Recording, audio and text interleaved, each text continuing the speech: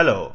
I've recently been working on the restoration of an old lathe. That restoration project included various methods of removing paint and rust, like wire brushing and wire wheeling, the use of a needle scaler or needle gun, sand blasting, and more. And if you're interested in that restoration project or if you want to know more about those methods, you can find a link to the playlist in the video description. All of these methods are effective, but abrasive or mechanical in nature, meaning that they are also quite invasive. In this video I will compare different methods of electrochemical and chemical rust removal and my goal is to derust all the parts that you see here on the bench within a time frame of 24 hours. And yes, there is a variety of other chemicals that can be used for this process, especially a large number of different acids. But this video is just a means to an end because I want to go on with the lathe restoration project and I can't afford to delay that anymore. So this has to be quick and that's why I'm using stuff here that I could just grab off the shelf in the next supermarket. And what you're going to see here are rust removal experiments with electrolysis, cider vinegar, citric acid, and a commercial product called Rostio. And please watch the video to the end because there will be a grand before and after comparison of all the parts that you just saw on the bench.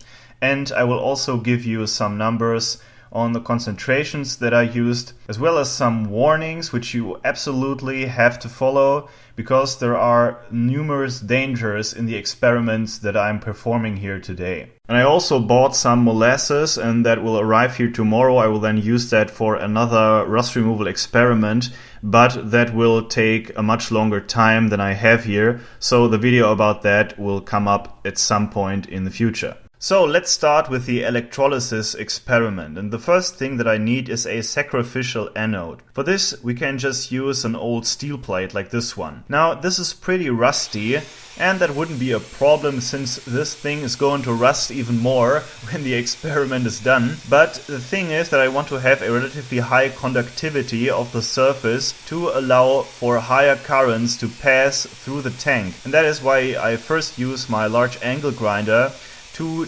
derust the surface of this anode. And I also attach a steel angle plate to the backside of the anode and this will enable me to hang the electrode on the wall of the plastic tank that I'm going to use for the experiment. I also attach a nut on the backside of the electrode and that will keep a distance between the conductive surface and the plastic surface of the tank and this will enable me to practically double the effective conductive cross-section area of the electrode. And I drill a 10 millimeter hole at the upper end of the electrode and here a bolt will sit that will connect a wire coming from the current source to the electrode. And next I drill two smaller holes through the electrode and prepare this 0.05 ohms power resistor here with two thick pieces of copper wire. And then I attach the resistor electrically to the bolt and also physically to the surface of the electrode, which will also act as a heatsink. Normally I would also add some uh, thermal compound, but I just can't find it at the moment. And we will use this resistor, at least for a short time, to measure the current that will be flowing through the electrode by means of the voltage drop that will occur across the power resistor. And as a last step, I degrease the electrode with some universal thinner before we use it for the experiment. The workpieces, namely this axe head and a cast iron hand wheel, are prepared for the experiment as well. I remove the really loose rust with a wire brush first and then I degrease these parts with the means of some gasoline inside this plastic tank here. Now I don't recommend doing this this way because well, you will inhale some of the fumes. Also, of course, there is a fire hazard here. So maybe use another chemical or do it outside, at least uh, right in front of an opened window, I guess. And now we need a tank made of a non-conductive material. I will use this plastic box here and I fill it up with 12 liters of lukewarm water That's around 3 gallons of water. And I can now insert the anode inside the tank. And here is my workpiece, in this case the axe head, that I clamp into the screw clamp. And this is how I'm going to do it. I lean it against the electrode so that the workpiece and the anode are comparatively close together. Now often you just use a piece of wood that you place on top of the tank and then you can suspend your workpieces on iron or steel wire dangling from that piece of wood. And you can find that in a couple of other videos about this topic that I will link in the video description.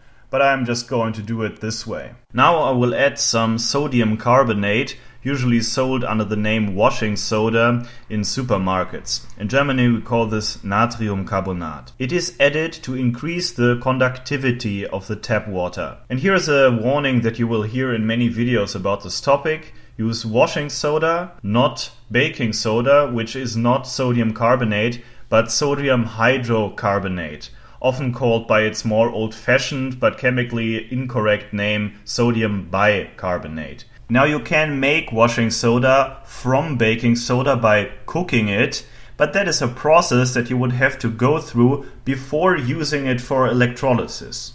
And I start with a mixture of one tablespoon of washing soda to each gallon of water, which is roughly 3.8 liters. And I simply took this recipe from the Wood Magazine's video about this, which I also linked in the video description.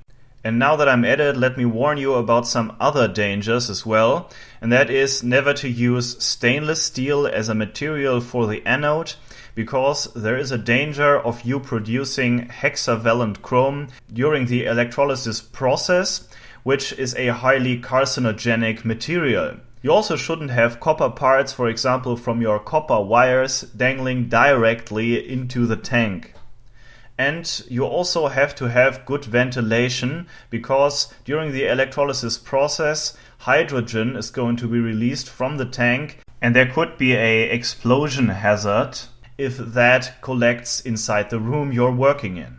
Now you need a current source, the plus pole of which is to be connected to the sacrificial anode, while the minus pole is to be connected to the workpiece. In many other videos you will see that people often utilize car battery chargers for this.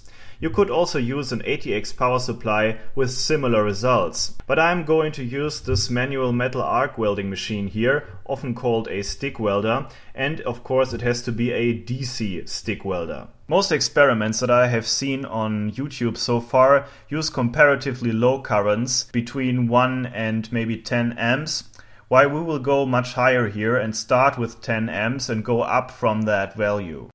So the DMM displays the voltage drop across a 0.05 ohms resistor. That means that you have to read off the voltage reading in volts, multiply it by 20 and divide it by 1 ohms to get the current reading in amperes. Or in other words, multiply it with 20 and think in your head that it's amps, not volts.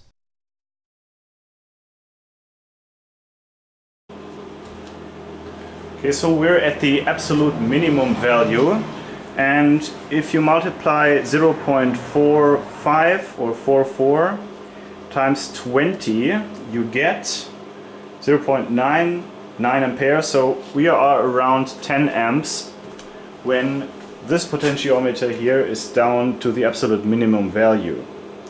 And we can already see a rather violent reaction here on the sacrificial anode. Let's see what happens if I crank up the supply voltage so that we will have a larger current flowing through the bath.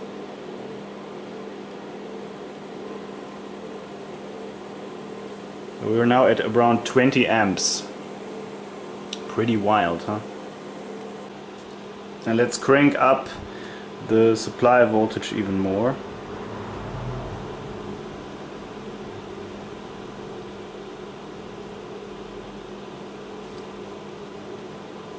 So 1.6 volts, if you multiply that by 20, you are at 32 amps and that is the maximum that I can get here no matter how much I crank up.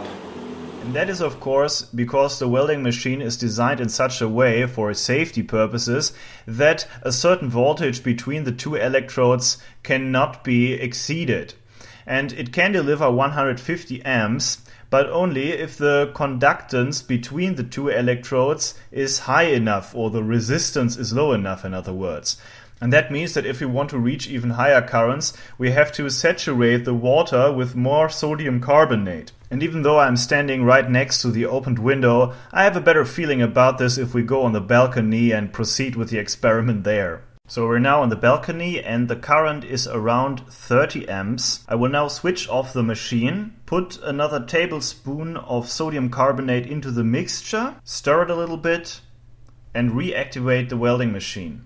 And here you can see that we're now talking about 2 volts voltage drop which equates to around 40 amps of current passing through the electrolysis tank. And P equals I squared times R, which means that the power dissipation inside the power resistor alone is at this point at around 80 watts, which far exceeds its power rating. And that is why we can only do this for a couple of seconds. And here you already see black smoke coming from the resistor. And that is why I will now connect the clamp directly to the 10 millimeter screw, not using the power resistor any longer.